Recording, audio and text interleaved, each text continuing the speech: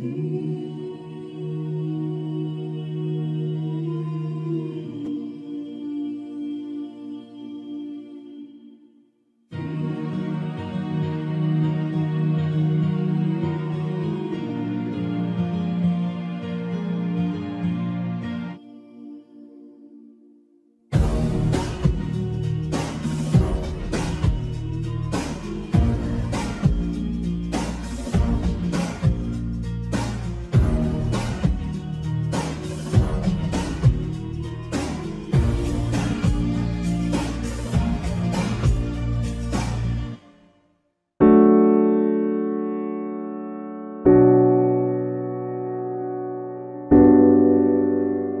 Estimado telepensante, Día de la Mujer y las mujeres del neofeminismo no pueden definir lo que es una mujer. Estamos en el marco del mundo de Orates eh, que nos está imponiendo la deconstrucción de la extrema izquierda y que por supuesto a la derecha le importa un cuesco. Mi estimado Sebastián Cristi, gracias por estar aquí en Esfera Pública, en tu canal también, porque este va a ser un programa conjunto y yo quería partir saludando también a tu audiencia, porque aquí vamos a hacer un análisis de lo que a nadie le importa. A nadie le importa mientras no le toque el bolsillo, que nos están desquiciando nuestro mundo. Y bueno, para hablar de eso, de eh, esta polémica que se armó, porque yo voy a ser parte de una conferencia, cómo fabricar a una feminista y cómo rescatarla de la prisión, de la falsa libertad que se le prometió de Sara Winterhuff ella eh, eh, fue, ¿no es cierto?, una mujer que fue feminista, que fue entrenada, que recibió el adoctrinamiento, viene a Chile y la vamos a acompañar eh, para explicarle a la gente algo que va desde fuera de la perspectiva de género, pues, que ahora nos impusieron en una ley con los votos de la derecha. Bienvenido, Sebastián.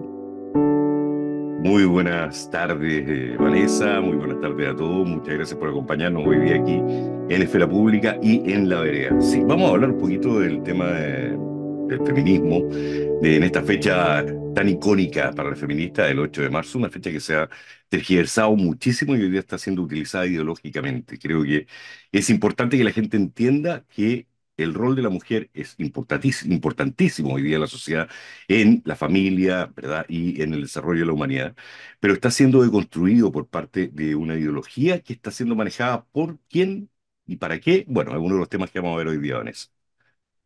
Sí, exactamente. Bueno, yo solamente adelantando, quiero, mira, a mí me parece que no le estamos dando la importancia a la implementación del mamarracho que sigue adelante, porque el mamarracho que nosotros rechazamos y el mamotreto, que en el proyecto 2.0 también establecía la intervención del Estado en todos los ámbitos de la vida nacional, todos los ámbitos, para distribuir eh, por genitales a los seres humanos, es decir, mujeres y hombres, y como mujer hoy día eh, depende de la autopercepción de cada quien, ¿no es cierto? Entonces, eh, la verdad es que a mí me resuenan mucho las palabras de Gabriel Boric, somos la vanguardia, el pueblo no nos entiende, seguimos adelante. Esta es una agenda internacional que se está aplicando en todas partes del mundo. Que te impongan una perspectiva, Sebastián. Cualquier persona que entiende de totalitarismo sabe que la democracia constitucional se funda en parte en la libertad de expresión. Y yo no tengo por qué tener una perspectiva de género. Esta nueva ley que se acaba de aprobar con los votos de la derecha, que supuestamente es en contra de la violencia hacia la mujer, perdón, para mí es violento que a mí me obliguen a hablar desde una determinada perspectiva. Pero lamentablemente a nuestro sector, al sector de la derecha, así como una parte importante fue capaz de acompañar a un líder que tenía una estrategia electoral y que no le importó sacrificar la institucionalidad, sacrificarla con cosas tan graves como esa. Imagínate cómo se destruye la meritocracia en un mundo en el que te distribuyen según si tienes vagina o pene. Y eso lo apoyó la derecha. Yo, la indignación que tengo, este día de la mujer, que las mujeres no pueden definir, porque entonces le saltan los otros 10.000 géneros, 112 géneros que ha reconocido la ONU, el día de la supuesta mujer, que mujer se reduce a ser persona menstruante, persona gestante. O sea, de verdad, aquí nadie se va a levantar y aquí no hay ninguna, ningún sustento mayor en la derecha, desde republicanos hasta Evópolis, para oponer resistencia, salvo excepciones, obviamente, que siempre las hay, para oponer resistencia a este mamarracho que se nos está imponiendo ahora por debajo de la mesa, sin el nombre de proyecto de nueva constitución.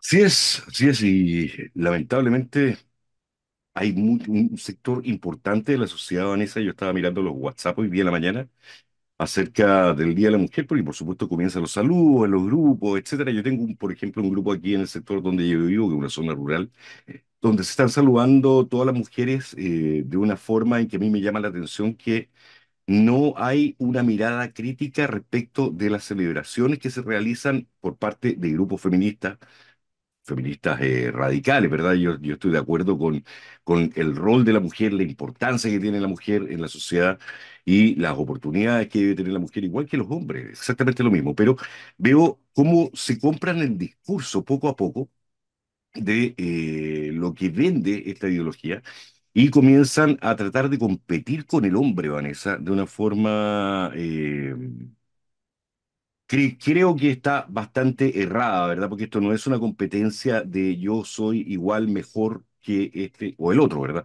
Yo no sé cómo, cómo ves tú, Vanessa, yo te quiero hacer una pregunta ya personal, digamos, ¿cómo ves el tema del feminismo al momento de enfrentar tu posición de mujer frente a la sociedad y eh, la posición que vende esta ideología?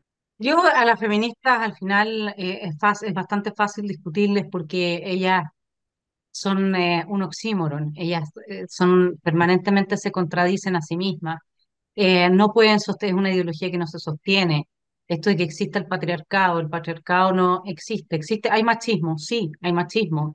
¿Y eso qué es lo que significa? Significa que hay una visión en algunas personas, en algunos hombres que hemos ido trabajando de mm, falta de respeto hacia la otra persona, sobre todo cuando es mujer. Sí, y, un cierta, y ha habido eh, históricamente eh, la primera ola de feminismo, etcétera, que tenía mucho sentido, ¿no? Tenía sentido porque no tenías derechos políticos y los derechos políticos son distintos del derecho que yo puedo eh, exigir a la hora de que me pongan a mí en el mismo lugar de un gerente general de una empresa, digamos. O sea, yo necesito talentos para eso. La vagina no basta, digamos, ¿no?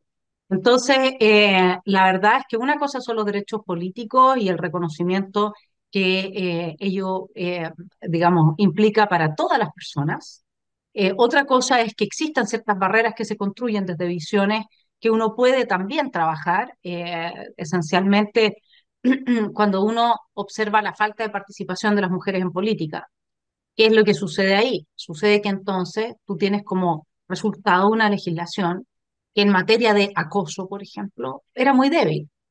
Era muy débil porque quienes históricamente habían sido parte de la esfera pública eran hombres.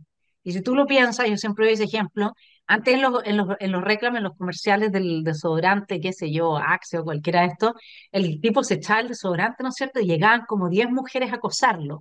Ese es el sueño del hombre. Entonces, ¿cómo le vas, o no de todos, pero digamos, es parte de las fantasías masculinas históricas, ¿no? El harem y qué sé yo.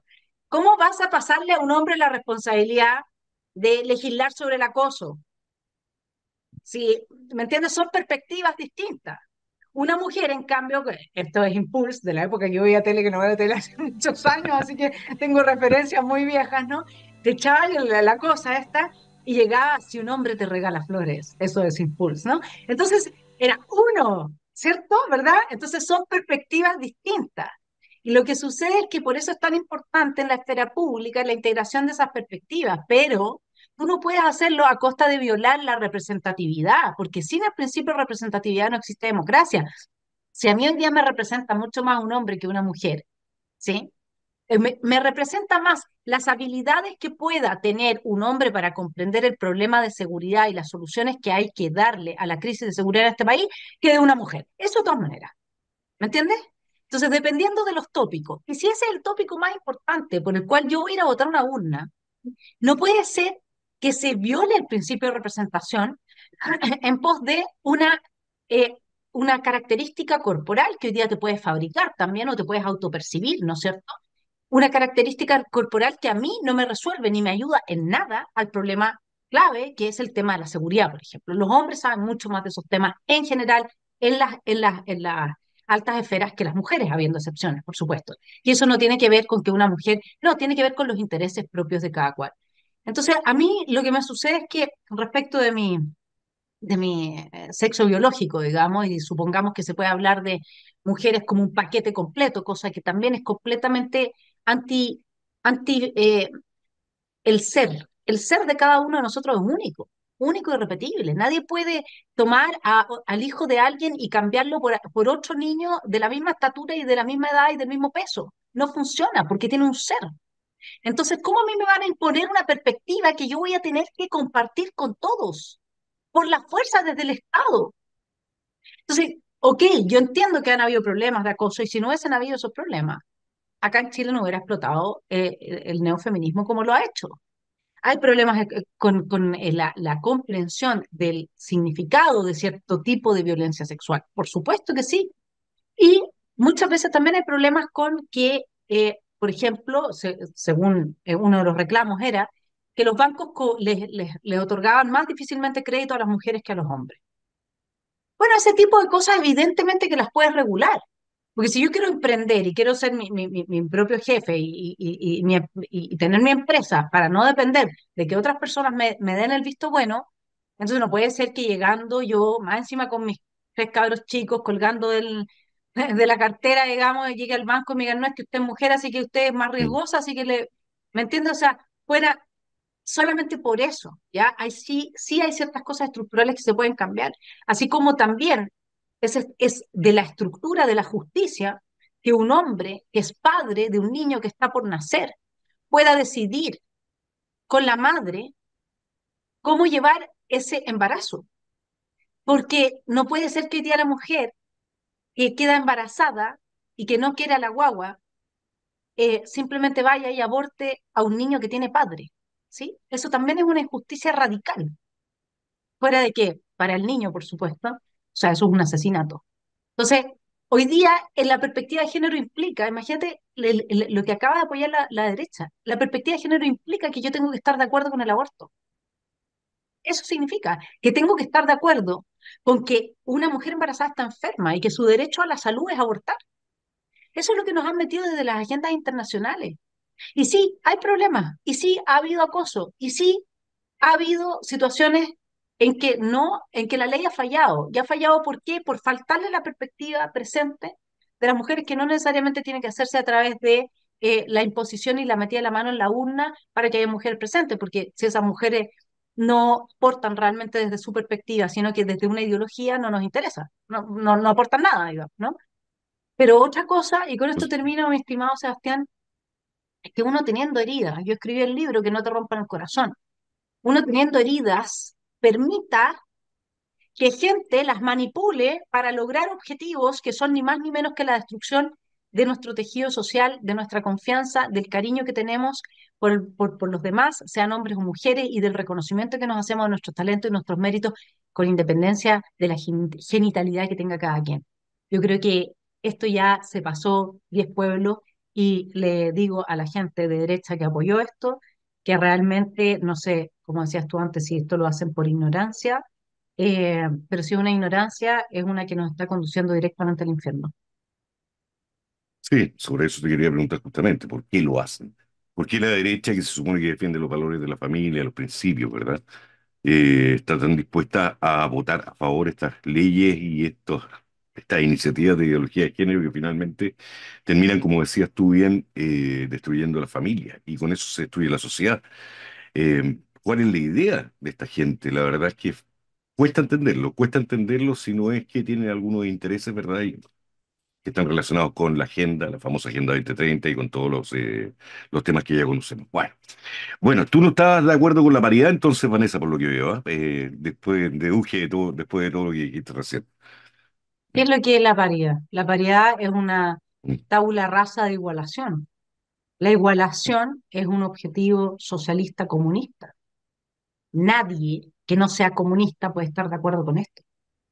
Lo que pasa es que no se está pensando sobre el tema porque no se discute.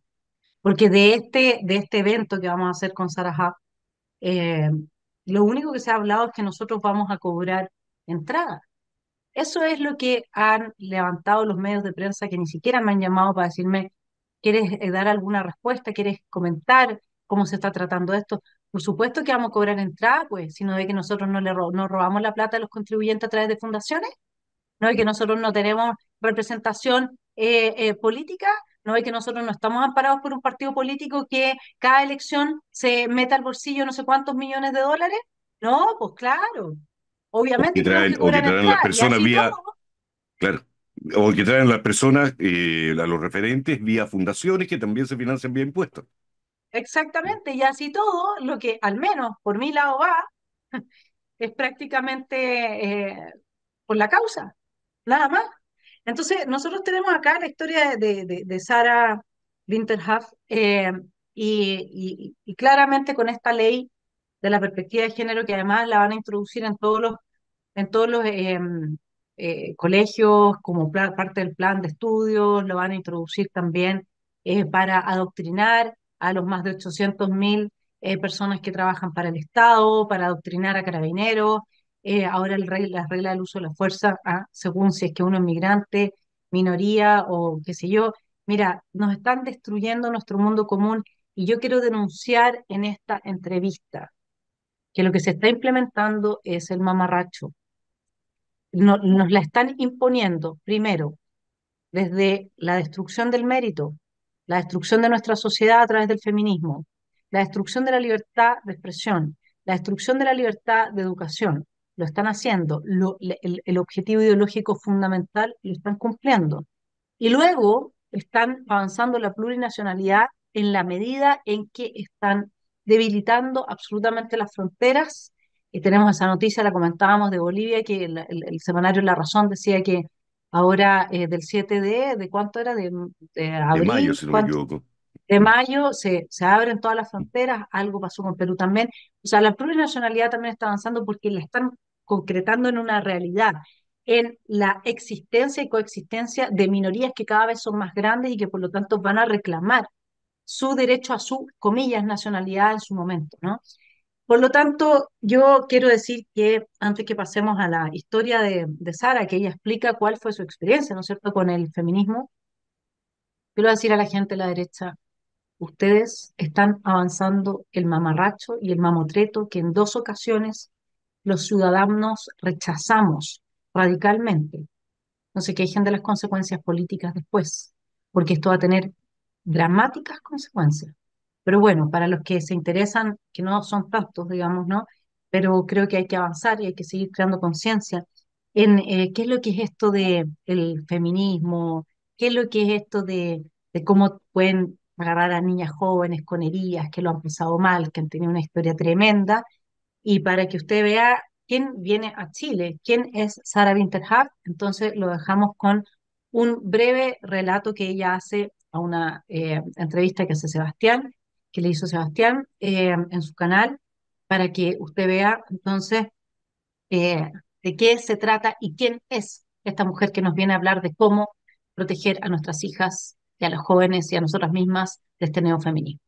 Yo fui feminista durante cinco años de mi vida. Entonces yo tuve la oportunidad de conocer el más íntimo del movimiento, a su organización, su financiamiento, cómo a capitan a las mujeres, cómo utilizan el dolor y sufrimiento de las mujeres como una excusa para adoctrinarlas y, y volverlas como marionetas, como títeres ideológicos. Yo me metí en el movimiento feminista porque soy de una familia muy desestructurada, donde sufrí violencia de todos los tipos por parte de un hermano que se metió en el narcotráfico y con todo eso de las drogas me maltrataba y maltrataba mucho a mi familia, especialmente a mi padre y mi madre. Entonces, yo lo que conocí de los hombres era la violencia de mi hermano y eh, la pasividad de mi padre. Entonces, todo el contacto que yo tuve con los hombres era malo.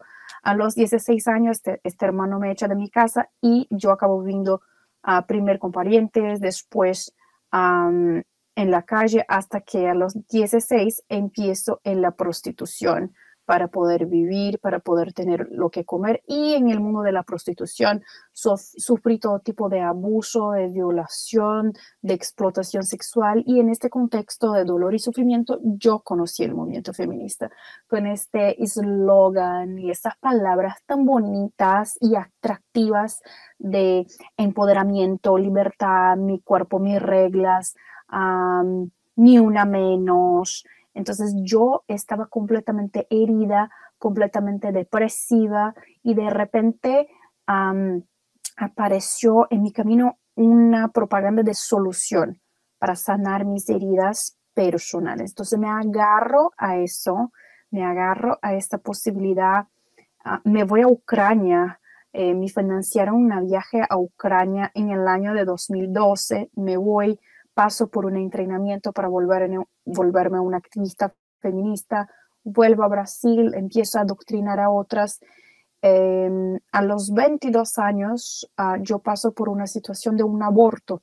Yo decidí hacer un aborto también convencida por mis amigas feministas y aunque yo tenga hecho un, un procedimiento del aborto siguiendo exactamente los, las uh, las directrices de la Organización Mundial de la Salud, la OMS, yo tuve una tremenda, una hemorragia, yo tuve complicaciones serísimas, casi perdí la vida. Y en esta oportunidad yo no fui salva, salvada por mis amigas feministas, yo llamé a todas, nadie me, me rescató, lo único que me rescató fue un vecino católico. Y esto fue decisivo para que después, meses más tarde, más adelante, yo decidiera entonces dejar el movimiento feminista y ah, volverme católica.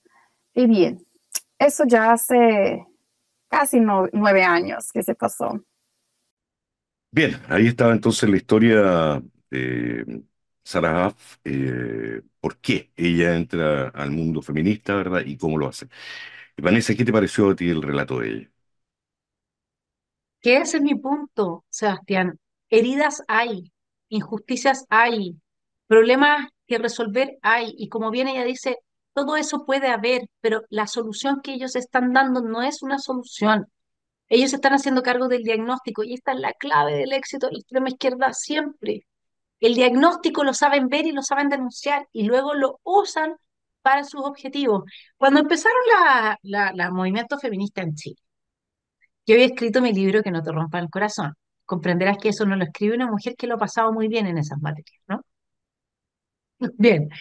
Y yo empecé a ver esto, eh, y además yo he sido, digamos, eh, a mí me tocó mucho en la vida eh, lidiar con, con las partes oscuras de este mundo donde a veces hay demasiado matriarcado y por lo tanto hay demasiado machismo, porque el machismo los hombres normalmente lo tienen porque las madres los educan de esa manera, ¿sí?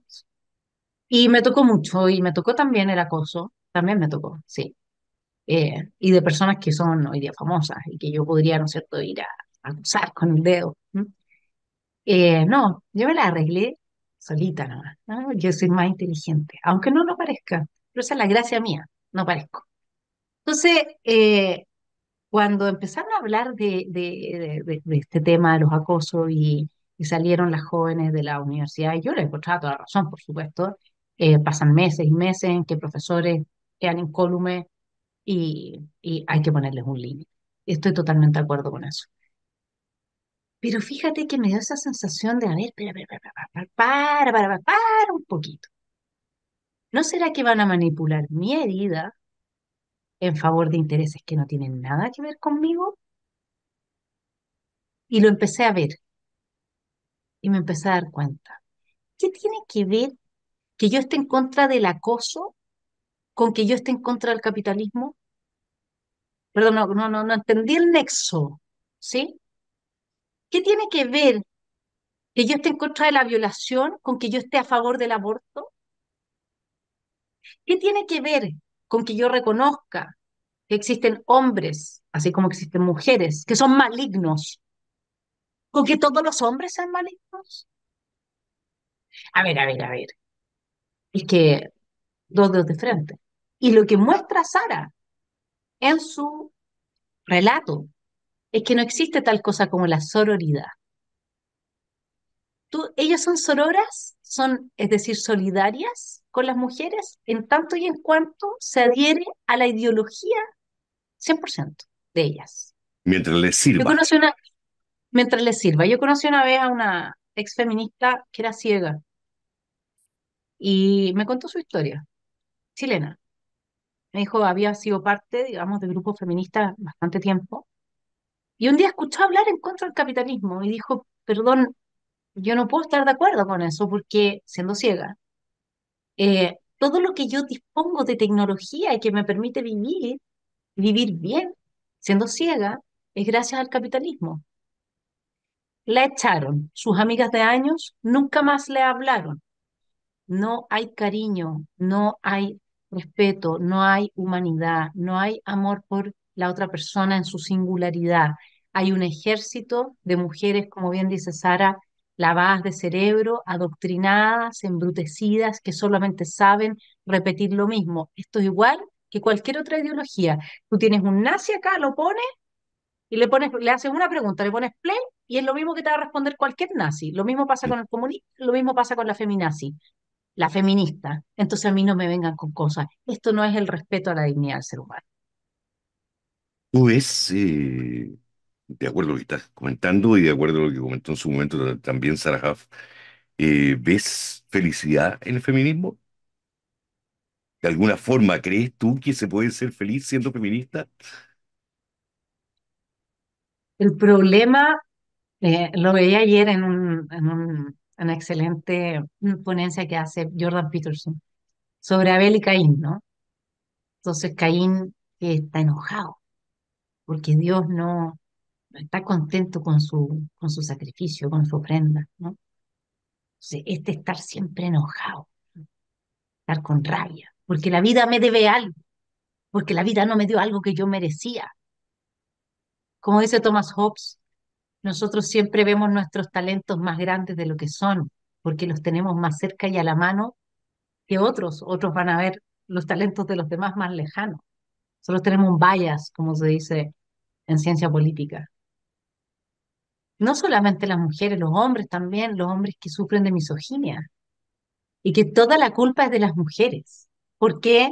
Y están, ya a esta altura es como ridículo, o sea, es como, eh, compadre, te voy a contar una, una anécdota. Una vez hablando con un amigo, ya mayor, mi amigo, me dice que yo, yo tengo derecho al segundo derecho humano que tiene un ser humano. Espera, ¿cuál será el segundo derecho humano? Entonces me dice, el primer derecho es a la vida. Estamos hablando señor de unos cincuenta y tantos años. El segundo derecho es a que te quiera tu madre. Dije, compadre, supéralo. Hay personas a las que las madres no, no, no las quisieron nomás. No tuvieron esa suerte. Tenías otra suerte. Eres sano. eh, supéralo, digamos. O sea, eso de vivir en el resentimiento, de es que yo, yo, yo tengo, Sebastián, seis títulos. Seis títulos universitarios. Seis. No hay pega. Que no hay perspectiva de género. ¿Qué va a hacer? ¿Vivir con rabia? O sea, a ver, eh, el punto de la feminista es que está todo el rato enojada porque hay algo que le falta, porque hay algo que considera injusto, porque es víctima. Y ahí es donde se acabó tu dignidad, en el momento en que tú te autopercibes como víctima respecto de una superestructura llamada patriarcado, porque tú sí puedes ser víctima de una violación, tú sí puedes ser víctima de un maltrato de una mujer. Hay hombres que son profundas y, e insistentes y constantemente maltratados por las mujeres. Claro que sí. Pero ser víctima de una figura metafórica, abstracta, conceptual, metafísica, que le sirve a la extrema izquierda para destruir nuestra cultura, es absurdo y además es vivir, digamos, sin poder disfrutar de nada, de nada. Todo es, tú odias la creación misma. No conozco ninguna feminista real, no la que me diga, oye, es que yo quiero igualdad de trato, de meritocracia. Eso no es feminismo. A estas alturas, eso hace mucho rato, los derechos políticos, hay igualdad en derechos políticos, eso hace mucho rato que pasó. Y si las feministas quieren ser honestas, vayan a defender a las mujeres que viven con la burka. Vayan a defender a las mujeres que sufren de ablación. Vayan a defender a las mujeres que de verdad sufren por estructuras culturales. Acá no, no voy a decir que es fácil, pero para nadie es fácil, Sebastián. Eso de que para los hombres es fácil, por favor. Para los hombres, yo soy hermana de cinco hombres. Soy madre de tres hombres. Para los hombres no es fácil. Pero acá de lo que se trata es de meter preso a los hombres por cualquier cosa, de que vivan con miedo, de que no se atrevan, para destruir nuestro ordenamiento social, la superestructura, e imponernos su proyecto de nueva izquierda progresista, religión woke y reemplazar los fundamentos cristianos occidentales de nuestra cultura. Y para eso el hombre tiene que desaparecer del mapa, ya sea porque se queda callado o porque se lo aborta para siempre. Si no se dan cuenta las mujeres de eso y siguen apoyando este feminismo, aunque ellas no estén de acuerdo con, las, los más extremos, pero lo siguen apoyando, van a seguir avanzando este tipo de legislación que va a meter al hombre preso por cualquier cosa y no le pidas a un hombre después que te defienda, si va a terminar preso por años, que lo van a acusar de haber eh, hecho una violencia simbólica, haber sido gestor de una violencia simbólica en contra de una mujer. Ojo con eso. Sí, estoy de acuerdo. Al final, eh, respecto a lo que decía recién, hay un tema de mucho resentimiento por parte de la mayoría de las feministas. Y esto, hay, hay un problema que yo he ido detectando a lo largo de, este último tiempo, estos últimos años, respecto a este movimiento feminista, que lamentablemente aquí se utiliza mucho a las personas que han tenido problemas eh, en su hogar, en su entorno más directo. Y se utiliza por parte de esta ideología, de alguna forma las capturan, Vanessa, eh, para poder entrar a este movimiento, finalmente explotando su resentimiento, tal como decías tú, y donde la felicidad obviamente desaparece de esa persona. Eh, me gustaría que viéramos otra parte de la, de la entrevista con, eh, con Sarah Huff, donde habla acerca del costo y el embrutecimiento, ¿cierto?, que significa toda esta ideología. Ah, pues fue un costo altísimo, altísimo. Primero que el movimiento feminista, toda su, toda su doctrina me ha hecho cometer el mayor, más grande error de mi vida, que fue la muerte de mi hijo. O sea, yo fui responsable por dejar entrar en mi cabeza una doctrina que me enseñó que hacer un aborto, que matar a mi hijo adentro de mi vientre era empoderador. Esto me costó mucho. Me costó la vida de mi hijo, costó la sanidad mental, porque después yo me puse muy mal, muy mal, ah, totalmente enferma psicológicamente. Me costó años de mi vida.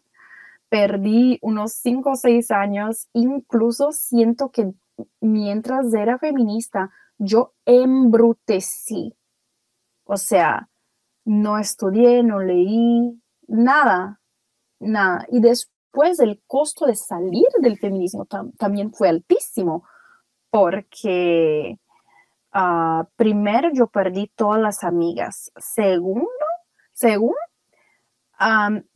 todos los activistas de izquierda, liderazgos, empezaron una campaña de persecución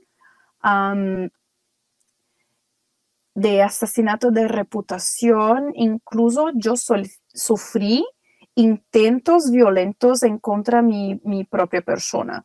Por dos veces en Brasil me pegaron ahí en el medio de la calle con puñetazos, con cachetazos, con patadas, con pedazos de madera, me rompieron un diente. Ah, fue todo muy, muy, muy extremo. Me denunciaron las redes sociales hasta que yo perdiera, perdiera todo. Entonces, eh, fue un tremendo un sufrimiento, pero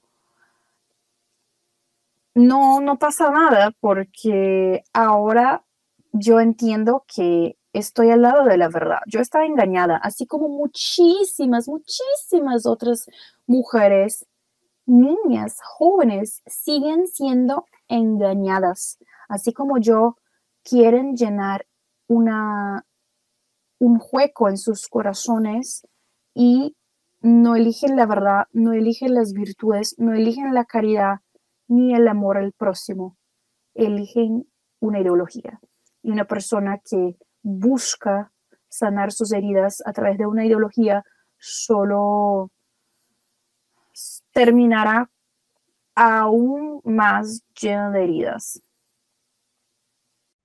Ahora me toca a mí preguntarte, pues, Sebastián. Yo quiero preguntarte a ti como hombre, porque si te das cuenta, este embrutecimiento de qué se trata. Este embrutecimiento se trata de una especie, digámoslo en términos de Nietzsche, de castración psicológica de las mujeres en su comprensión de lo que son las relaciones con los hombres. ¿Cómo ves tú, cómo proyectas tú eh, esta, este ser que en definitiva queda un poco, como dice Sara, ya embrutecido, ¿no? La verdad es que yo, cuando veo este tipo de, de, de ideologías, de iniciativas perversas desde mi punto de vista, contra la sociedad, contra el ser humano en general, yo veo a mis hijos. Yo tengo dos hijos y eh, me da un poco de miedo que ellos sean capturados por esto, porque se vive en un entorno en el que uno no todo el tiempo tiene control acerca de lo que está pasando alrededor de ellos, ¿verdad?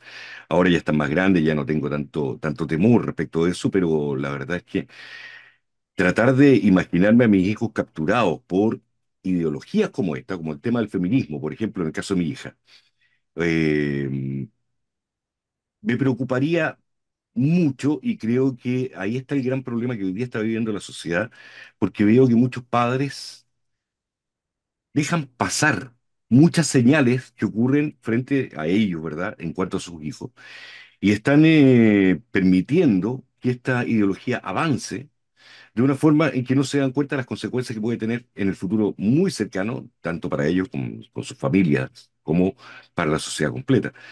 Entonces, ¿cómo lo veo yo? La verdad es que a mí me, me abruma un poco, Van- Vanessa. Me abruma porque veo que es una máquina demasiado grande como para que uno solo, como padre, como persona, como amigo, ¿verdad? Como tío, pueda influir mucho en, eh, en la decisión de, que toman los niños, los jóvenes, respecto de todo esto. No sé cómo enfrentarlo muchas veces. Claro, yo trato de comunicar, trato de, de analizar y de entregar las mejores visiones posibles para que la gente vaya despertando respecto de todo esto, pero yo sé que es una tarea muy difícil hoy día para hacerla como individuo, para enfrentarla como individuo.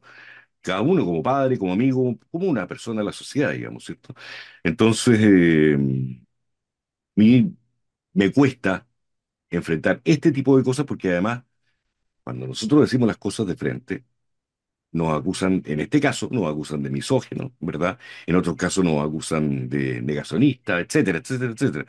Hay todo un relato en torno al progresismo y a toda esta ideología y a la agenda, ¿verdad? Que finalmente termina acusándonos a todos quienes queremos denunciar o quienes queremos abrir los ojos del resto de la gente. Sí, y por eso es que mm, uno de los efectos involuntarios que puede llegar a tener eh, esta, eh, como a mí me gustaría tener ah, un adjetivo descalificativo que esté a la altura de esta monstruosidad, esta monstruosidad del neofeminismo y de la ausencia de pensamiento y de la capacidad de distinguir el bien del mal de las nuevas generaciones, eh, absolutamente capturados eh, por, eh, por las redes. eh, Mira, yo te voy a, te voy a, a- a contar algo, es una infidencia. Eh, el influencer más importante del mundo se llama Andrew Tate. Andrew Tate estuvo preso por un tiempo y es un tipo machista, pero que te saca las lágrimas de la risa. Y que de verdad es genial. Eh, pero es, un- es una persona que es un estoico, es una persona que entiende que él, su lucha en su vida es llegar a ser la mejor versión de sí mismo. Y ese, y sabes qué, a mí me da esperanza que un hombre como él sea seguido por tantos millones de millones de jóvenes, entre ellos mis hijos. Y yo, por supuesto, que la parte que las mujeres detestan, porque no, es que él tiene, él te, te dice el relato de esto, como de los, de los viejos, eh, de los viejos lascivos de hace 20 años atrás, ¿me entendés? Pero sabes que yo me río, porque hoy día es un bálsamo escuchar algo así.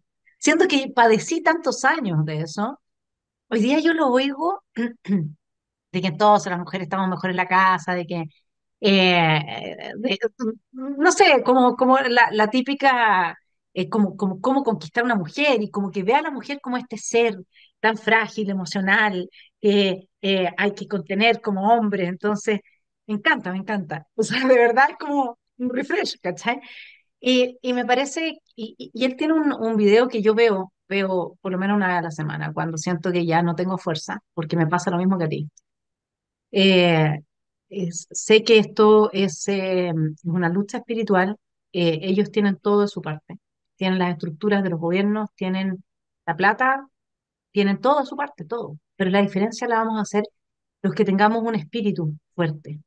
Y yo veo a Andrew Tate cuando me voy cayendo así como en el abismo, y él tiene un, un, un video muy, muy bueno eh, donde, donde en el fondo te hace amar la vida en su dificultad te invita a amarla en su complejidad, en su dureza, en su maltrato, en su carácter trágico, lo mismo que hacía Nietzsche, lo mismo que hace Arendt, lo que hacían los griegos antiguos.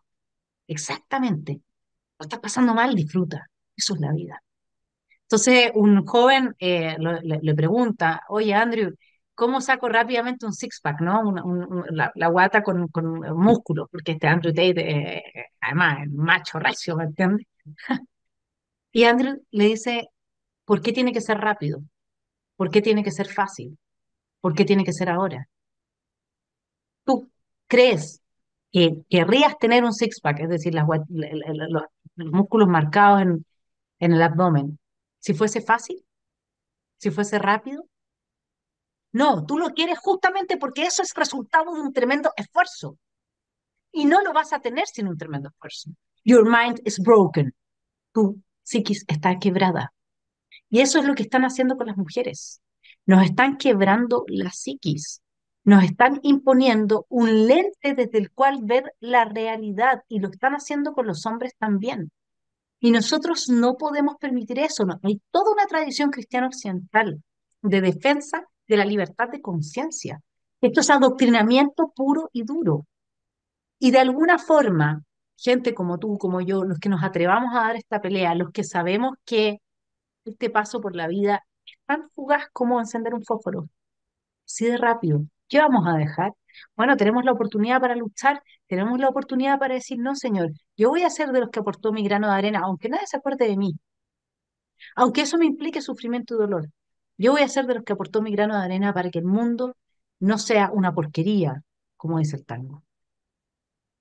Bueno, y es un trabajo que nos toca a todos, a, a todos, a todos, a ustedes que están viendo esta transmisión también. Creo que es responsabilidad de cada uno ir mejorando el mundo para bien, para bien. Y ustedes que están despiertos e informados y están interesados en ver este tipo de contenido, eh, son las personas que tienen la principal responsabilidad de poder replicarla en aquellos que no han querido todavía despertar a lo que está pasando realmente hoy día en el mundo. Tú hablabas recién acerca de la estructura que armaron, eh, que han armado todos los- todo el progresismo, lo vamos a definir de esa forma hoy día. Eh, ¿cuándo pasó esto? Que no nos dimos cuenta, Vanessa. ¿En qué momento fue que de repente nos vemos, oye, directamente bombardeados, ¿verdad? Por un- una ola progresista que parece imparable, parece imparable, ojo con eso. Pero ¿cómo fue que no nos dimos cuenta del inicio real de todo esto y cómo, quiénes son las personas que están detrás, como para haber logrado esta mega estructura contra la sociedad? Bueno, eh, yo aquí tengo un libro que se llama Neoentes, eh, de Miklos Lukács. Y fíjate que él parte, o sea, sus primeros párrafos los dedica justamente qué es lo que hay, ¿no? Es, dice, es qué es lo que hay detrás de todo este feminismo y este movimiento eh, de la cuarta ola. Es muy probable, dice, que Shulamit Firestone, que es una mujer que nació en 1945 y vivió hasta 2012, sea desconocida para la gran mayoría de los lectores. Esta mujer de aspecto sosegado y brillante inteligencia es una de las representantes más emblemáticas del feminismo radical. En La dialéctica del sexo, que publicada en 1970, su obra más influyente, la autora canadiense escribió lo siguiente, la cita. La revolución feminista podría ser el factor decisivo para el establecimiento de un nuevo balance ecológico. ¿Te suena Agenda 2030, cambio climático? Alertar sobre la explosión poblacional, un cambio de énfasis de la reproducción y la contracepción y demandas para el desarrollo completo de la reproducción artificial ofrecerían una alternativa a las opresiones de la familia biológica. A ver, lo que hay detrás, en simple, es la subversión del orden natural. La subversión del orden natural se hace desde una ausencia de pensamiento mal banal o desde el mal radical, es decir, de gente que está eh, casada con un propósito de destrucción del mundo, por rabia, por resentimiento o porque es parte de la iglesia satánica, póngale como quiera, me da lo mismo. Pero al final son lo que nosotros vimos en el 18 de octubre, estallido satánico, estoy leyendo el libro de Arturo Ruiz, Los demonios, eh, el libro de Roberto Ampuero, todo el mundo sabe que acá hay algo en un deseo de Tánatos, inspirado en el Tánatos, que es la destrucción, la destrucción de la vida y de todo, que, no, que si lo tuviésemos que hablar en términos teológicos, hablaríamos de satanismo. Que lo que es el satanismo es la inversión del orden natural, es la destrucción del orden natural. Entonces, ¿qué es lo que pasa? Y por eso es que hay ciertos grupos activistas, LGBTQ, etcétera, que han tomado en Estados Unidos a el diablo como la figura que los representa, porque el diablo es transexual, tiene hombre y mujer, el diablo es transespecie, tiene animal y humano, el diablo quiebra con todo lo que es la regla binaria, es decir, eh, hombre-mujer, bien y mal, eh, animal, ser humano, etc. Bien, entonces tiene esta dimensión. Hay gente que le cuesta hablar de esto, que considera que es un despropósito hablar desde acá, pero yo no. ¿Por qué? Porque, como lo digo probando en mi canal, tanto, no sé, pues Bukele hace unas semanas atrás habló de cómo el crimen organizado, y que esto está suficientemente estudiado, es em, adorador de Satanás. ¿Ok? La gente que mata, que degüella, que no le importa la vida del prójimo, tiene una religión. Tiene una religión consciente. Los asesinos del Cabo Palma tenían un altar satánico en su casa. ¿Ok? Entonces, usted me puede decir, ya, pero Satanás no existe. Ok, si yo no le estoy discutiendo eso. Lo que yo le estoy diciendo es que si usted cree en Satanás, usted tiene 10 mandamientos que son la inversión de los mandamientos. Y uno de ellos es tú pervertirás al prójimo. El otro es tú matarás. Díganme si eso no es acaso lo que hace el crimen organizado. Y lo que aquí hay detrás de este feminismo, de este neofeminismo, es la destrucción del orden natural, de la familia, como decías tú, de la familia heterosexual, de la binariedad, y con eso, de todo el orden que se sigue de la familia. Pero para, para lograr ese objetivo, lo primero que tienen que hacer es convencernos a las mujeres de que nosotras somos víctimas de los hombres. Y por eso es que yo he tratado de trabajar en la mujer este, esta experiencia de ser mujer, que no tiene que ver con, yo soy mujer en la medida en que tengo un hombre al lado, porque entonces obviamente que cada cosa que me pasa o cualquier mm. situación en la que yo no soy feliz, le atribuyo la culpa a él. Y nosotros tenemos problemas culturales fundamentales. Por una parte, esa dependencia que no es sana respecto de la identidad de sí misma eh, en referencia a la existencia del hombre, y por otra parte, la, eh, uno podría decir, la merma en la concepción del hombre de no solamente ser proveedor, sino que también ser protector. ¿Y tú sabes cuál es el eje que cruza estos, estos, estos dos pilares de la deconstrucción? El eje es la pérdida de la dimensión de lo sagrado. Tu mujer es sagrada, tus hijos son sagrados, la relación con tu mujer es sagrada, pero cuando uno ha perdido la dimensión de lo sagrado, entonces deja de ser protector, deja de entender que ese es el hogar que tiene que cuidar. ¿Y qué? Si yo pongo las lucas, me dicen algunos. Oye, pucha, qué bueno, porque hay muchas mujeres que viven sin que, el hombre se haga cargo de lo que le corresponde como responsabilidad en eh, la mantención de sus hijos. Totalmente de acuerdo. Porque es eso de abandonar a tu mujer, es eso de abandonar a tus hijos. Si nosotros tenemos problemas de fondo en la cultura con los que yo, digamos, estoy bastante involucrada desde siempre, pero que no tienen nada que ver con la propuesta neofeminista que lo único que es subvertir el orden natural y destruirnos a nivel individual en la medida en que nos colectiviza. A mí, yo tuviese una hija feminista, no sabría, no tendría nada que hablar con ella porque yo ya conozco todo lo que piensan. ¿Qué más voy a hablar con ella? No tiene nada. Es un play. Es un chip aquí, play. Listo, nada más. Y tengo que hablar yo con una feminista. Si yo ya sé todo lo que dicen, yo ya sé todo lo que creen, yo ya sé todo lo que piensan, yo ya sé. ¿En qué me puede aportar? Yo ya me he leído los libros, ahí está. Ya, listo, play. Eso es lo que son. Son una reproducción, una caja reproductora de sonido y de ideas de otras personas que pensaron. ¿Va a decir que hay dignidad? ¿Un mínimo de dignidad del ser humano? ¿No pensar por ti misma las cosas? Hasta incluso, ¿y sabes cómo lo hacen? Eh, esto lo trabaja la filosofía helenística. La, lo, estoy con los epicúreos y los escépticos. Eh, tienen el acuerdo de que tú, lo que hay a la base de tu creencia es una emoción. Entonces, yo distingo que la mujer en general tiene rabia, ya rabia porque sufre de amor, qué sé yo, a propósito de esta dependencia de la que te hablaba. Entonces, ¿qué hace la izquierda? Ah, yo sé que hay una emoción acá que puedo decodificar. Ellos lo que hacen es decodificarlo. Mira, es lo mismo que pasó para el 18 de octubre. Existía este estallido social que, que sirvió de, de, de, cúpula al avance de la revolución, ¿ya? Del golpe de Estado, pero este estallido social era de gente que estaba enojada, enojada con los abusos, ¿sí? Entonces, ¿qué hace la, la izquierda? La izquierda eh, tiene un detector de emociones. Detecta que existe ese malestar y dice, mm, lo que pasa es que ustedes quieren una nueva constitución. Nadie quería una nueva constitución. Entonces, a la mujer le detecta esta emoción de frustración, de que, porque también está toda esta cosa, el príncipe azul, del este del otro, que es una carga enorme para el hombre, porque al final el hombre termina siendo responsabilidad, su responsabilidad la felicidad de la mujer, y cada uno es responsable por sí mismo de ser feliz sí mismo, ¿sí? O sea, eso es muy injusto para el hombre. Entonces, ¿qué? Como, eh, como ninguno de nosotros está completo y tiene defecto, entonces la mujer está siempre molesta respecto del hombre. Entonces, ¿qué es lo que hace la izquierda? Dice, ¿que hay una molestia? Lo que pasa es que el hombre te oprime. Lo que pasa es que tú eres víctima del hombre. Y esto es producto del patriarcado capitalista, que hay que deconstruir. Entonces es esa emoción de la molestia y de la rabia la que les permite manipularte y llevarte a que tú creas lo que ellos quieren que tú creas. ¿Se entiende? Si tú disuelves la rabia, si tú reconcilias a la mujer con la vida, como le pasó a Sara, ¿cierto? Entonces ya no hay espacio para sostener ese tipo de ideario.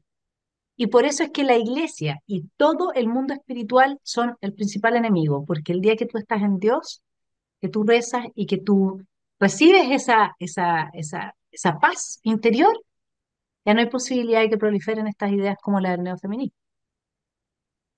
Oye, me llamó la atención ahí tu, tu, tu diagnóstico respecto de, la forma en que la izquierda explota entonces las carencias, ¿verdad? O los miedos de otras personas en base a las emociones. Buen, buena forma de mirar el tema. Voy a empezar a analizar las cosas desde ese punto de vista porque me llamó mucho la atención y tienes toda la razón. ¿eh? Vámonos a la siguiente parte de, de la entrevista, eh, los por qué y los para qué, aprovechando lo que estabas comentando tú recién. Vamos a ver qué es lo que dice Sara Fau. El objetivo es realmente eh, cada movimiento ideológico, cada ideología necesita de personas que pongan en práctica sus acciones. Entonces, una militancia, y yo traigo esto en el libro también, hay una composición en una militancia. La militancia se, puede definir como un, organismo uh, de agentes entrenados para eh, desarrollar estrategias para conquistar territorios. Eso es una militancia. Entonces, mm. una ideología orbita en el campo de las ideas. Es la, la teoría de algo que jamás se va a poder poner en práctica. Aún ellos van a, grandes financistas, grandes bancos, asociaciones, organizaciones internacionales con personalidad jurídica como la ONU, la UNESCO, el Fondo Monetario Internacional, grandes fundaciones internacionales privadas como la Fundación Rockefeller, la Fundación Ford, la Fundación Bill y Melinda Gates, la Fundación Open Society de George Soros, son ejemplos de fundaciones que dicen que están haciendo, que están haciendo ah, cosas buenas para el mundo, que están haciendo filantropía, mientras en realidad tratan de con el dinero, con el capital, manipular la soberanía de las naciones y de la familia y de, de los individuos. Y para completar un proceso de toma de territorio es necesario tener entonces soldados.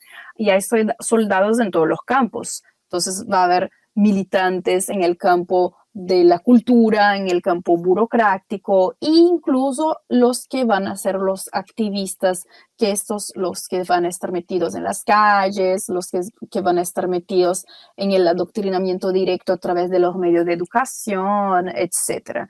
Entonces, para poder poner cualquier cosa en práctica, especialmente una ideología, hay necesario crear una militancia que sea obediente, que tenga un ídolo para adorar, eh, servir, que sea disciplinada. Y, el movimiento feminista, el, comunismo, eh, todos los movimientos de, de raíz marxista de izquierda son exactamente el mismo, tienen la misma base.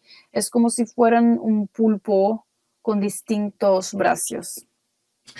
¿El por qué y para qué de todo esto? Bueno, está clarísimo que acá hay una Agenda 2030, nuevo orden mundial, ideología de género, Davos, eh, y que han surgido, me gustaría saber tu visión, Sebastián. Eh, a ver, ha surgido resistencia. Y es interesante porque la fuera de Meloni, las resistencias más importantes son de hombres, hombres apoyados por mujeres. Justamente Milei, Trump, Bolsonaro, eh, en Vox está Bascal, ¿no es cierto? Y mujeres que apoyamos a esos hombres y que al mismo tiempo tenemos como esta rebeldía total y absoluta de aceptar este neofeminismo. ¿Cómo ves tú el surgimiento de estas resistencias desde hombres justamente que extrañamente no se dejan amedrentar por el discurso neofeminista? Lo que pasa es que entendemos finalmente que creo muchos hombres, ¿ah? muchos, no creo que, seamos muy pocos, eh, que la verdad es que esta gente le está utilizando a la mujer finalmente y, y, también aquí hay, perdón el vicio, ¿ah? pero un poquito de, heteropatriarcado también, esta cuestión de, querer proteger a la mujer contra los ataques que está recibiendo desde el mismo movimiento feminista. Si, la verdad es que lo que tratamos de hacer las personas que hablamos acerca de esto es despertar a la sociedad, no porque sea mujer o porque sea hombre, ¿verdad? Sino que a la sociedad en su conjunto. Y, eh, y de verdad, yo pienso lo, lo, que te comentaba hace un rato atrás respecto a mis hijos. Si yo viera que mi hija está siendo... Eh, abusada por el movimiento feminista, yo también estaría muy atento y tratando de, hacerla despertar, ¿verdad? Y es lo mismo que uno ve en relación con la sociedad completa cuando es atacada literalmente por estos movimientos y por cualquier ideología en el fondo, cualquier ideología de todo tipo. Y, la gente no se da cuenta cómo es el, tema, como, como este, este, este tema de la rana, ¿verdad? Que se va calentando dentro de la olla eh, y no se dan cuenta, no se dan cuenta que están dentro de la olla ya y que los están calentando poco a poco y que finalmente van a terminar siendo quemados. Entonces, es la verdad, Vanessa, creo que uno de los objetivos principales que tenemos todas las personas que estamos metidos en este momento en el tema de comunicaciones, tratar de mantener a la gente despierta y atenta para no quemarse en la olla. Y en el tema del feminismo es exactamente lo mismo, y en cualquier ideología, como te decía. Sí, yo estoy totalmente de acuerdo y por eso es que es tan importante porque necesitamos herramientas, necesitamos herramientas para poder combatir, para poder abrirle los ojos a nuestros niños. Esto más que heteropatriarcado, ¿sabes lo que es amor? El amor, eso es. Entonces, eh, nos han, nos han pervertido y subvertido todo, la, la, palabra amor, dignidad, todo lo han transformado en, en, en excremento. Eso es lo que quiere decir, excremento porque cuando tú tienes una reina de viña que aparece en el metro, meando el metro, cuando tú tienes a la que gana el gran hermano programa así, con actitudes zoofílicas con, con su perro, cuando tú tienes a la ministra de Lash, Culturash, que es una señorita triple X, y todo se te, todo se empapa de esa pornografía. ¿No se supone que era justamente lo que el neofeminismo quería combatir. Y sabes qué, la señora Bukowski, creo que es el apellido, ¿no? De la ex ministra de, las Culturas. Sí. E, ella, su, su lema, su lema que vale la pena analizarlo, ¿no? Puta maraca antes que paca. ¿Qué tal? Ese es el neofeminismo que van a ir a apoyar las mujeres ahora. Eso es. Sea, antes que ser una mujer decente, que se preocupa de la seguridad de los demás, de cuidar a los demás, de eh, hacer un aporte a su patria, puta Una maraca. vocación de servicio. Exactamente. Eso es lo que, mi estimado, se está apoyando con esta nueva ley de género. Eso es lo que hay detrás del feminismo. Y yo quiero aprovechar eh, de mandar un mensaje eh, a todos, producto de la necesidad de estas herramientas. Este libro de Sara Winter, Cómo fabricar una feminista, usted va a encontrar, lo va a encontrar en librería Chema. Bueno, si usted quiere contribuir en algo a esta batalla y se pregunta cómo lo puedo hacer, vaya a la librería que leo, vaya a la librería Antártica, vaya a la librería Ulises y pregunte por este libro o por mi libro o por tantos otros libros que no tienen, por ejemplo, Neoentes también, que los trae librería Chema. Pregunte por los libros de ediciones legado y no los va a encontrar. Y entonces la pregunta es, ¿por qué no le abren la puerta en esas librerías a que pueda la gente comprar libros que le ayuden desde una perspectiva distinta a dialogar con sus hijos, con sus parientes, a formarse una opinión real respecto a lo que está pasando. Yo invito a esas librerías eh, a conversar con Editorial Legado y con Librería Chema para que todos podamos de forma más fácil acceder a obras tan importantes como esta en un momento clave de la humanidad, porque acá está clarísimo. Acá tenemos eh, un avance radical del mal eh, y tenemos por otra parte una pequeña oposición con mucha fuerza que está tratando de evitar el descalabro final de nuestro mundo común. Y ese descalabro nosotros sabemos dónde termina, en los campos de concentración. Claro que como ahora no van a nacer personas, o sea, simplemente termine con el último nacido, ¿no? Bueno, adentro. Bueno, esos son los miedos que tenemos en este momento todos y que tenemos que aprender a enfrentar, ¿ah? Y la única forma de hacerlo es ayudando en esta batalla cultural, tal como decía Vanessa, en este caso con el tema de las librerías. Hace que las librerías se vean obligadas a tener a disposición de su público libros que son importantes para poder tener un crecimiento personal y al mismo tiempo ayudar a transmitir las ideas a otras personas. Eso se hace solamente por medio de la lectura y estar atento también a, este tipo de narrativas que nos trae hoy día Vanessa, que ayuda muchísimo a despertar a la gente. Yo te quiero agradecer eso, Vanessa, porque la verdad es que tú has sido una de mis referentes para poder eh, seguir adelante en esta batalla, así como otros más. Así que creo que ha sido un tremendo aporte en la, la época contemporánea tan difícil que estamos viviendo, Vanessa. Oye, em, no sé, nos queda una parte todavía de, de la entrevista a Sarah Huff. No sé si la, la vemos, ¿te parece o no? Vamos, Sí, entonces con el tema, vamos, veamos lo, lo- el por qué, a ver, cómo se maneja el tema de los vicios en el feminismo, eh, respecto del hombre, la mujer, etcétera. Veamos lo que dice Huff. Hombres y mujeres, lo que quiere el feminismo es convencer a la mujer que para ser empoderada hay que practicar todos los vicios masculinos. Si miras a una feminista va a ver la, la violencia, las drogas, el alcohol, la lujuria, la pornografía, la, la sucera, el desorden.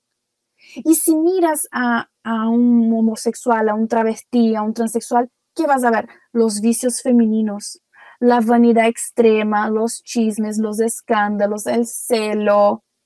Lo que hace el feminismo es convencer a la mujer que sus virtudes, la caridad, la belleza, la benevolencia, la maternidad, que eso es lo que hace con que ella se, se vuelva débil y que todas esas virtudes han que ser tiradas a la basura. Y convence al hombre que todas sus virtudes, proveer, proveer, proveer, proteger y presidir, que eso es una toxicidad, es tóxico, una masculinidad tóxica y que eso hay que ser tirado en la basura.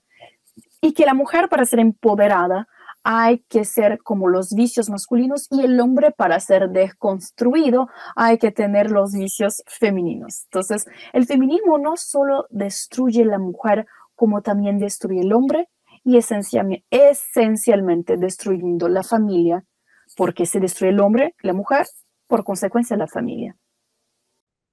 A mí, para mí, de, la entrevista que le hiciste, este es sin duda eh, el aporte más importante. Eh, porque mm, efectivamente, empoderar a la mujer entonces es que ella asuma los vicios de los hombres. Y por eso las feministas, las neofeministas se ven tan destrozadas. Y los hombres los vicios de las mujeres. Y eso me encantó. Sebastián, y aquí eres tú el que va a tener que va a tener que poner los puntos sobre las i, porque así como yo a las mujeres digo para su madre, vayan para su madre y díganle que la eduque bien, ¿ah? en el sentido amplio del término. Bueno, puedes mandar a, los hombres para su padre, porque las generaciones anteriores tienen mucho que aportarnos. Esto de, de, de ser soft y suave, ¿ah? que te dan la manito así. Eh, y fíjate que incluso cuando se trata de quienes se autoperciben como mujer, ¿qué es lo que ellos entienden por mujer? ¿Pintarse las uñas? Yo no las tengo pintadas, no me las hago jamás. ¿Tener determinadas condiciones físicas? Hay mujeres que nacen muy distintas físicamente de otras. Andar con eh, estuco y con el pelo no sé qué y vestido no sé cuánto. Eso que ver con ser mujer. Éramos mujeres en la época de las cavernas también. Tiene nada que ver. Ser mujer no es ir a la peluquería, no es pintarse las uñas ni usar tacos. Eso no es ser mujer. No sé, ¿qué te parece a ti este tema de, de la masculinidad como lo aborda ella? La propuesta que el feminismo, que el neofeminismo hace a los hombres para que estén deconstruidos. Hay un tema de debilidad en la sociedad actual, ¿verdad? Que ha sido fuertemente eh, inyectado en, la, en las universidades, en los colegios, con todo este tema de ideología de género. Lo venimos viendo hace cuántos años, unos 10 años, se las parece ya 15 años, que estamos viendo poquito a poquito cómo va avanzando por parte nuevamente del Congreso, que se ha prestado para todo esto y donde la derecha también ha participado. La derecha, la supuesta derecha política, ha participado aprobando leyes que son ridículas. Hoy el tema de los baños mixtos, los colegios y un montón de cosas que poquito a poquito van cambiando la percepción acerca de cómo se manejan las cosas. Ahora, Evidentemente, frente a todo este ataque ideológico que se vive en general, no solamente en el tema hombre-mujeres, ¿verdad? Sino que todo lo que se refiere a la ideología eh, progresista, la, este mundo woke, ¿verdad? Y todo esto que estamos, que estamos viviendo y lo que estamos siendo víctimas como sociedad, eh, finalmente termina afectando, y aquí yo no sé, me voy a hacer cargo de lo que yo pienso, ¿ah? No te quiero involucrar, Vanessa, en, en, en lo que voy a decir, sino que es algo que yo pienso y puede que muchos de ustedes me ataquen a partir de lo que voy a decir ahora. Pero además de todo lo que hemos conversado a lo largo del programa, que se refiere a las carencias en el hogar, en el seno del hogar, ¿verdad? Que finalmente terminan siendo utilizados, como bien dijo Vanessa, utilizados emocionalmente por parte del progresismo, de la izquierda, etcétera, para poder atraer agua a su, a su molino. También veo producto probablemente de todo este ataque permanente hacia la sociedad por parte de este progresismo, con toda esta ideología y cosas extrañas, ¿verdad? E instalación de neorealidades inexistentes, pero que finalmente terminan afectando a las personas, eh, veo un nivel de insanidad mental, para decirlo de alguna forma suave, ¿verdad? Cuando yo veo a alguien que se autopercibe jirafa, no puedo decir que esa persona es una persona sana. Es una persona que evidentemente necesita tratamiento psiquiátrico, necesita la asistencia médica para poder resolver problemas graves que tiene dentro de su cabeza. Y esto lo podemos ir escalando hacia abajo, ¿verdad? Hacia diferentes niveles y también en este tema del... Eh, del Hay una palabra que yo ocupo, que yo ocupé cuando empecé a detectar todo esto hace unos años atrás. En el caso de los hombres, ¿verdad? Que están ahí defendiendo el, eh, el, tema del feminismo ya, radical. Cuando aparecen de repente algunos hombres comandando, liderando las manifestaciones femeninas, ¿verdad? Y hablando acerca de las mujeres, saltando, prácticamente soy mujer, ¿verdad? Eh, yo a ellos los defino como por si la, por si la ponguista. Ese es el nombre que yo les puse. digamos, ¿m? Creo que están metidos ahí en un colectivo para ver qué provecho pueden sacar. ¿m? No sé si con eso resumo un poco cuál es mi pensamiento y mi punto de vista respecto a esto. Sí, pues es lo que, lo que Nietzsche llamaba un instinto de adaptación demasiado hiperfetado. O sea, esta cuestión de estarse adaptando y ser parte de un proceso de darwinismo social en el que maquiavélicamente yo veo cómo me beneficio más a mí mismo en el corto plazo, porque además todo esto es de extremadamente corto plazo. Si se hubiera aprobado el proyecto de nueva constitución de la segunda tanda, estaríamos ahora discutiendo más de 30 leyes, estaríamos distribuyendo los cargos por genitales dentro de la sociedad, se habría acabado la democracia participativa en términos como la conocemos, porque se metía la mano en la urna, decía que era en dos instancias por venir, pero después anda a quitarle ese derecho a los que ya lo tienen. Nos hubieran destruido el mundo, nos hubieran cambiado la matriz Pero, energética. pero Vanessa, están haciéndolo igual. Lo están haciendo igual, pero ¿sabes qué es lo que pasa? Que este, eh, Sebastián, este es un problema que tiene que entenderse en, en, esta, en este orden, ¿ya? Una cosa es que igual haya gente que asesina a pesar de que hay leyes que plantean que eso es un delito. Gente que viola, gente que roba. Otra cosa es que la ley diga que violar y matar está bien. ¿Se entiende? Entonces, eh, ellos buscan resquicio y siempre encuentran a esta derecha favorable al mamarracho, porque yo ya con esta ley de género no me queda otra que decir aquí claramente esta derecha es favorable al mamarracho. O sea, Natalia González le dijo a la izquierda, le dimos todo lo que ustedes querían. Luis Silva estuvo dispuesto a bajar las indicaciones y eso no fue porque él corrió con tarro solo, todas las indicaciones republicanas con tal de seguir adelante con el proceso. Entendámonos bien, nosotros tenemos un problema gravísimo en este momento, que es que tenemos que reconstituir a la derecha verdadera, genuina, aunque seamos pocos, porque eh, es la única forma de quebrar con las dinámicas del darwinismo social que llevan a ver casos por doquier como los que tú dices, de hombres que están liderando protestas feminazis, de intelectuales liberales que acusan a Gonzalo de la Carrera de ser inhumano por decirle a un hombre biológico que no va a poder menstruar ni quedarse embarazado. Entonces, el nivel de hipocresía, o sea, yo creo que ya llegó el momento de disfrutar de las punas. Llegó el momento de disfrutar de que a uno lo traten como lo peor y lo más execra execrable de la sociedad.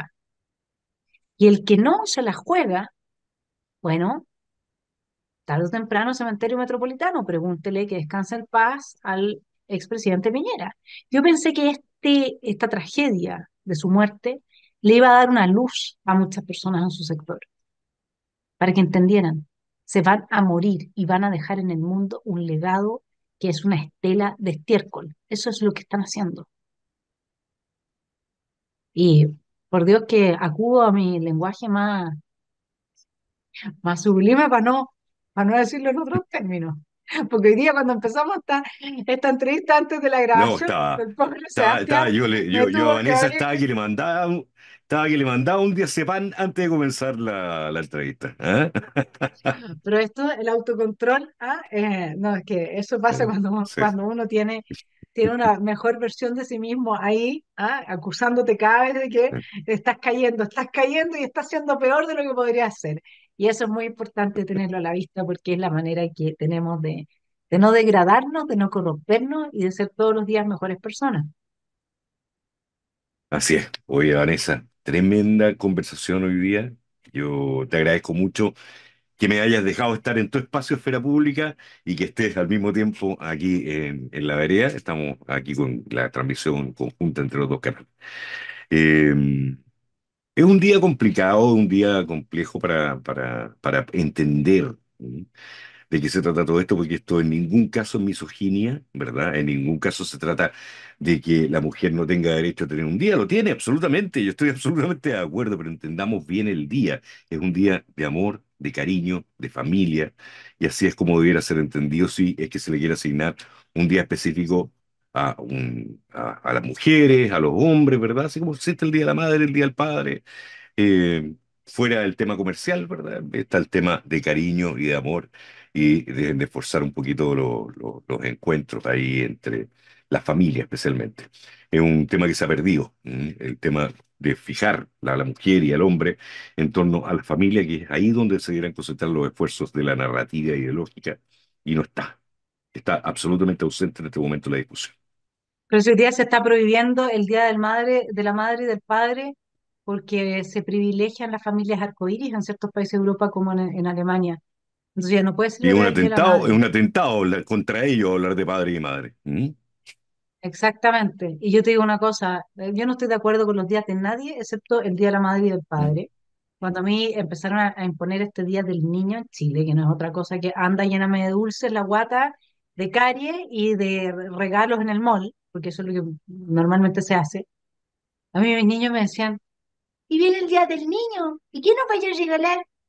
Todos los días es el Día del Niño, todos. Me dedico todos los días a ustedes. Olvídense que le voy a celebrar a nadie más, un día especial. Los días de mi energía, mi amor, todo lo que soy es para ustedes. Así que yo sí que tengo que tener un día, que es de la madre, por favor.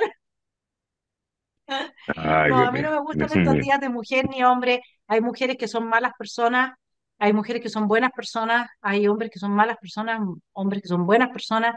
Yo creo que ahí es donde radica la diferencia. A mí me llamó una vez un amigo que le costaba hacerse cargo de sus problemas de su vida eh, y tomar el toro por las astas y me dijo, no sabes qué, yo creo que soy mujer. Ya, pues le dije, y bueno, es que tengo que empezar todo mi proceso, qué sé yo, y, y cuando tú te mueras, tu epitafio, ¿qué va a decir? Aquí yace Juanito Pérez, que era mujer, ese va a ser el gran logro en tu vida. No digo que no sea algo importante como tú te autopercibas y lo que tú quieras hacer con tu identidad, pero ¿no será más importante ser buena persona y ayudar a la gente que te necesita y ayudarte a ti mismo y salir adelante? Yo creo, ¿no? Porque somos seres espirituales, no somos seres genitales. Eso es lo que hay en la base y en juego. Por eso es que yo no estoy de acuerdo con el Día de la Mujer, ni el Día del Hombre, ni ninguna de esas cosas. En cambio, el trabajo y el sacrificio que hacemos los padres por nuestros hijos, eso sí merece un digno reconocimiento. Nuestros padres y todos quienes están alrededor nuestro. Reconocimiento permanente a todos quienes nos quieren y a quienes queremos nosotros, ¿verdad? Eso es algo que no tenemos que olvidar jamás. Decirlo y demostrarlo, día a día, sin importar si existe o no día para. Ok, Vanessa, ¿nos vamos? Un abrazo grande a todos y por favor, o sea, traten de, dar, de ir pensándolo. El mamarracho nos lo están imponiendo igual, con los votos de la derecha. Y políticamente la herramienta fundamental para destruir a Occidente es el neofeminismo. Entiéndase bien. Así que si nosotros no nos preocupamos de este asunto, nos van a arrasar. Tenemos que poner resistencia. Y esta ley que sacaron de género hay que hacerla volar. Fuera con todas estas cosas. Además que trae la interseccionalidad. Eso quiere decir la destrucción de la igualdad ante la ley. Eso es el mamarracho puro y duro. Nos están imponiendo el mamarracho, entiéndalo. Acá es necesario empezar a cobrarle la cuenta a los parlamentarios de derecha y a aquellos que dicen haber estado en contra de la implementación del mamarracho. Eso es. Bien. Muchas gracias a todos por acompañarnos. Gracias, Vanessa. Gracias a cada uno de ustedes. Y nos vemos en una próxima oportunidad, si Dios quiere. Un abrazo. Buen fin de semana. Gracias a ti, Sebastián. Cariños a todos los que te siguen en la vereda. Oye, 5 de abril, Vanessa Kaiser, eh, Manuel Daram y Sarah Huff en el edificio, en el Hotel Diego Almagro, ¿verdad? Van a estar. Aquí abajito de los videos aparece el link para que puedan eh, inscribirse, ¿verdad? Y participar en esta conferencia. ¿Ok? Vayan a defendernos porque yo creo que nos van a funar. Así que si no quieren tener a, a, la primera víctima mártir de lucha en contra del neofeminismo chilena, por favor háganse presentes, vayan a en Collera ahí, vamos, vamos a pelearla. Un abrazo. Eso es. Un abrazo, nos vemos. Chao, gracias.